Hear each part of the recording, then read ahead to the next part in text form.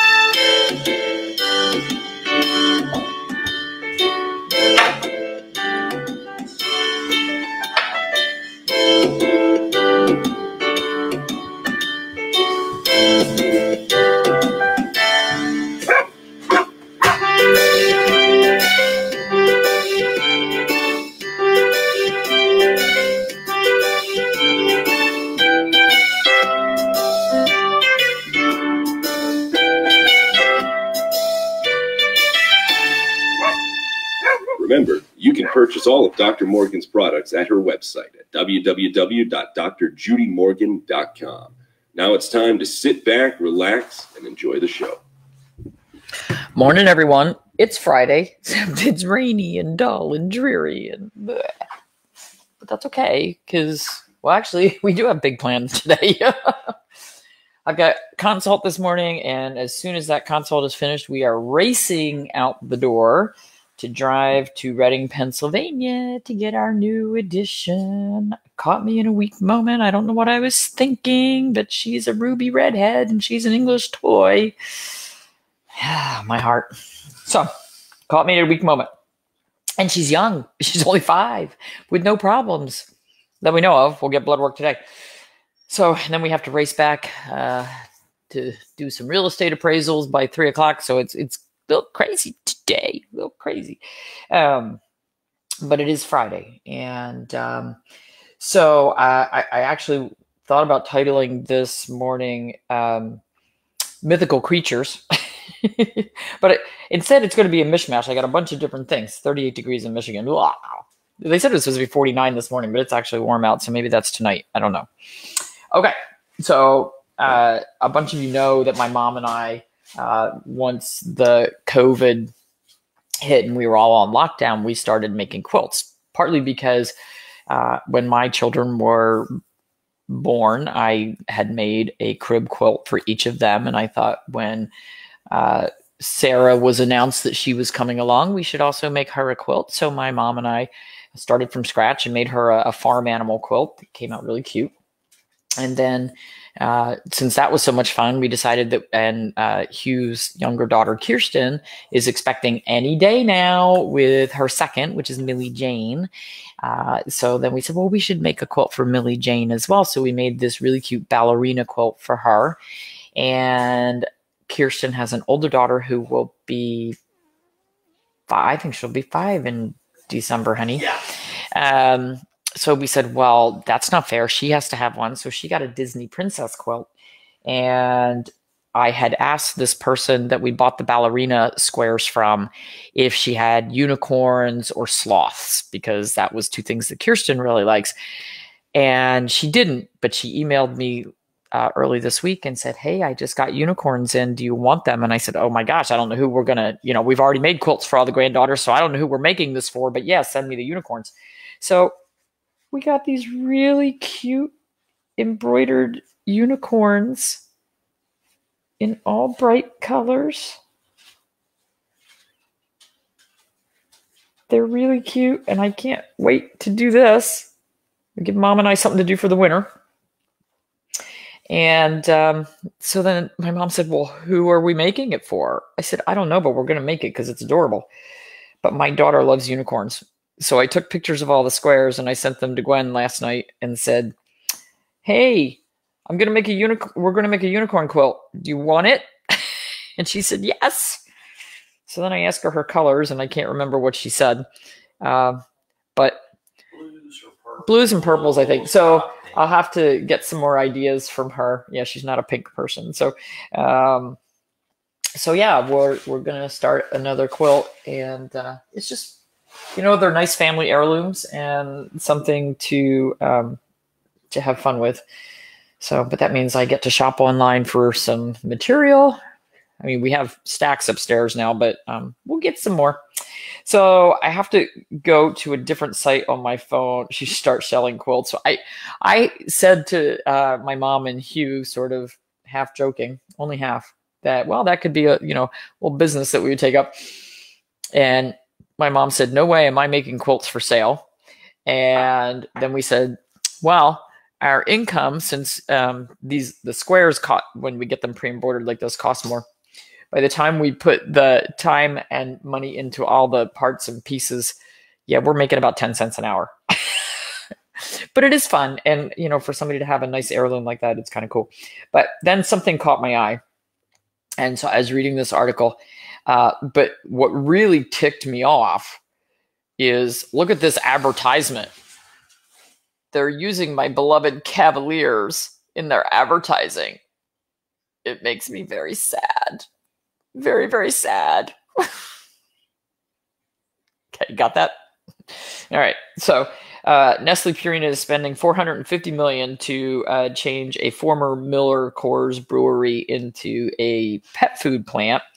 Sadly, it's going to be in Eden, North Carolina, which is on the Virginia North Carolina border. It won't be that far from us. Anybody who lives near one of these plants uh, can attest to the fact that it smells really bad. they they not good.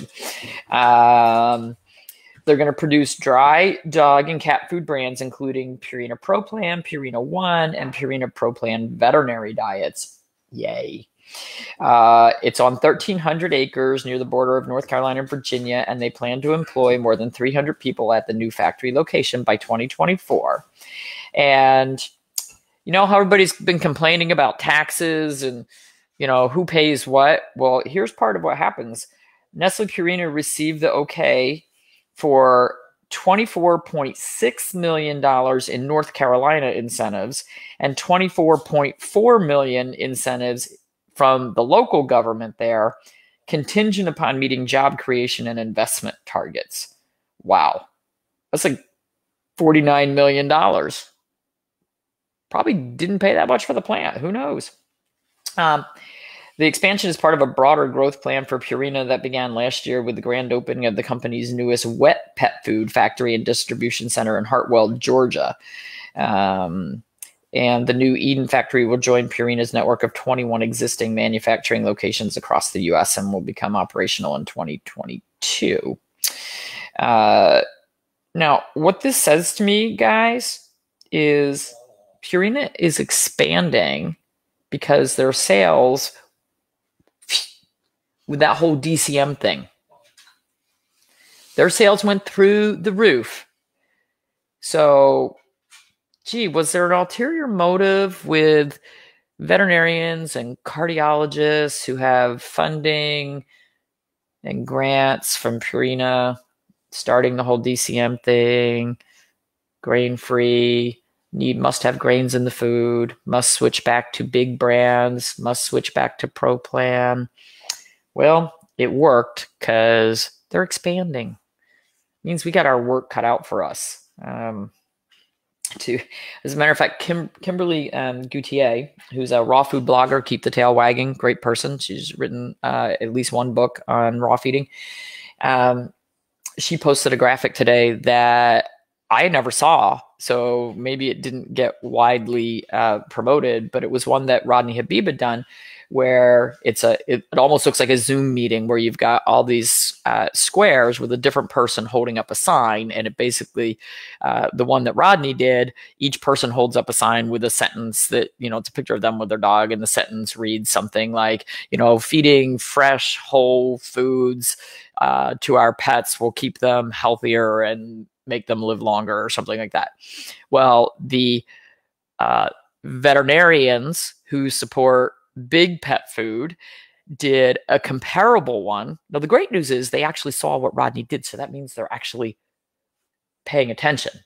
But they did one where they held up their little cardboard signs and it spelled out feeding high quality commercial pet food formulated by pet food co- experienced pet food companies will make your pet stay healthy and live longer something like that and i mean they they copied the same exact format so it looks like a, a zoom thing if you uh if you don't follow kimberly you can uh I, I'm sure you can find it. I'm sure she posted it on her uh, "Keep the Tail Wagging" blog, but it was I never saw either of those those ads or posts or whatever.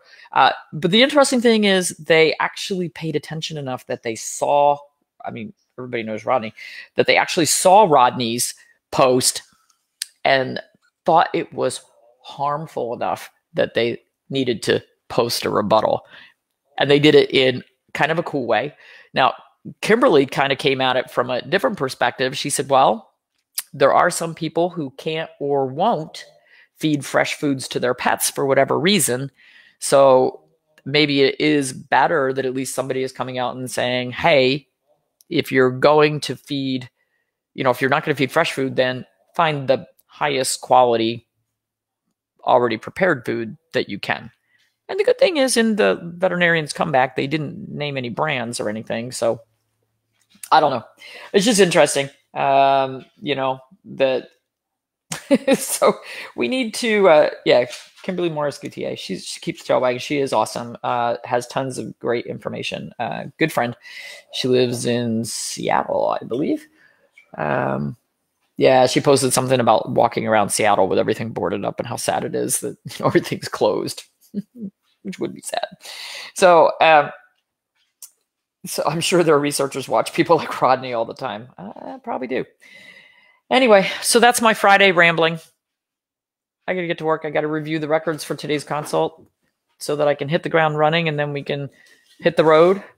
What? Are we doing? Oh, supporters tonight. Oh, yeah, we should be doing. I didn't post that. supporter seven o'clock tonight. Jeez, I have to post that. Your reminder so that you'll get it. Well, clearly I needed a reminder too. Who'd thunk? my phone's doing that weird thing where it's not giving me comments, it just tells me who's watching.